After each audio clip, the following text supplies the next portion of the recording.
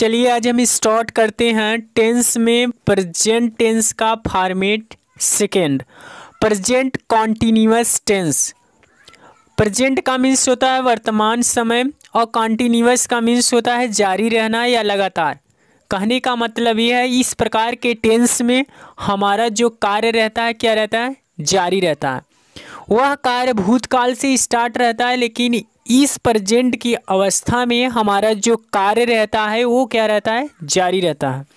चलिए इसका पहचान देखते हैं क्या होता है। इस प्रकार के टेंस में मेन वर्ब मुख्य क्रिया के साथ रहा है, रही है, रहे हैं, रहा हूँ, रहे हैं आदि शब्द आते हैं। जैसे वह खेल रहा है, वह नाच रहा है तो जो हमारा मेन वर्ब है, जो कोई एक्शन है, उसके साथ रहा है, रही है, रहे हैं रहा आदि शब्द आते हैं। इसमें हेल्पिंग वर्ब जैसे एग्ज़ाम्पल के तौर पर हम देखें, वह स्कूल जा रहा है। तो जाने के साथ क्या लगा है? रहा है। याद करने के साथ, याद करना एक कार्य है, उसके साथ रहे हैं, लगा है। मतलब जो हमारा एक्शन होता रहेगा, उसके साथ रहा है, रही है, रहे आदि शब्द लगा रहेगा। इसमें helping verb is am are का प्रयोग करते हैं। मतलब इसमें तीन हेल्पिंग वर्ब प्रयोग होते हैं। तो थर्ड पर्सन सिंगुलर सब्जेक्ट के साथ इज़ का प्रयोग करते हैं। थर्ड पर्सन सिंगुलर सब्जेक्ट क्या होते हैं, इसके बारे में मैंने बताया है कि थर्ड पर्सन सिंगुलर सब्जेक्ट में ही सी इट राम, एक लोगों का नाम, एक व्यक्ति का नाम, एक वस्तु का नाम मतलब एक जो हमारा रहेगा एक वचन के साथ इज़ का प्रयोग करते हैं, आई के साथ एम का, और बाकी सभी सब्जेक्ट के साथ आर का प्रयोग करते हैं। बाकी सभी सब्जेक्ट का मतलब क्या है? कि we, you, they, these, those, Ram and Shyam, दो लोगों का नाम, टेबल्स, चेयर्स मतलब इन सारी चीज़ों के साथ हम आर का प्रयोग करते हैं। इसको याद कर लेंगे, बार बार मैं नहीं बताऊँगा। अफर्मेटिव सेंटेंस अफर्मेटिव सेंटेंस का मीन्स होता है सकारात्मक बात इसका क्या फॉर्मेट होता है? सब्जेक्ट वाले राइट करते हैं इज़ एम आर सब्जेक्ट के अनुसार। वर्ब का फोर्थ फॉर्म, उसके बाद ऑब्जेक्ट।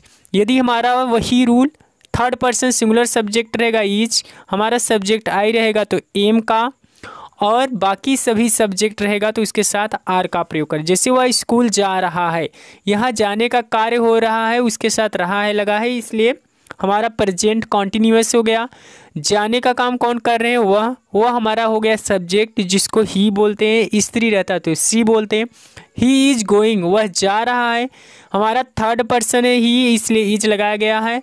गो का fourth for I going to school आप इस पार्ट को याद कर रहे हैं।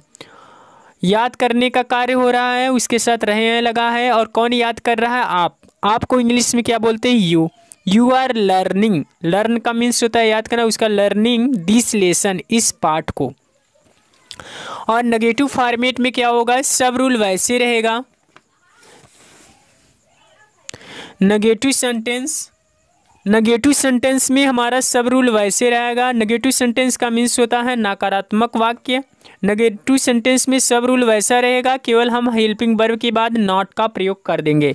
सब्जेक्ट इज़ एम आर के बाद आप नाट लगा देंगे। वर्ब का फोर्थ फार्म बोलिए या वर्ब के फ़र्स्ट फार्म में आई एन जी बोलिए आप। दोनों राइट है। उसके बाद ऑब्जेक्ट को राइट करते हैं। मैं इस पत्र को नहीं लिख रहा हूँ।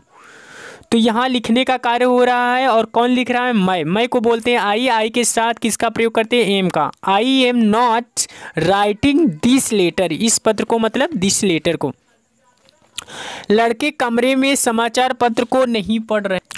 लड़के कमरे में समाचार पत्र को नहीं पढ़ रहे हैं। यहाँ पर लड़के एक से ज़्यादा लोगों की बात हो रही है। इसलिए द बॉयज़ हो जाएगा और हम अभी बताए हैं कि जब एक से ज़्यादा लोगों की बात होगी तो वहाँ पर किसका प्रयोग करते हैं? आर का। क्योंकि ये थर्ड पर्सन और प्लूरल सब्जेक्ट है। The boys are not reading read का मीन्स होता पढ़ना उसका fourth form reading newspaper in the room मतलब कमरे में। इंट्रोगेटिव सेंटेंस इंट्रोगेटिव सेंटेंस का मीन्स होता है प्रश्नवाचक वाक्य।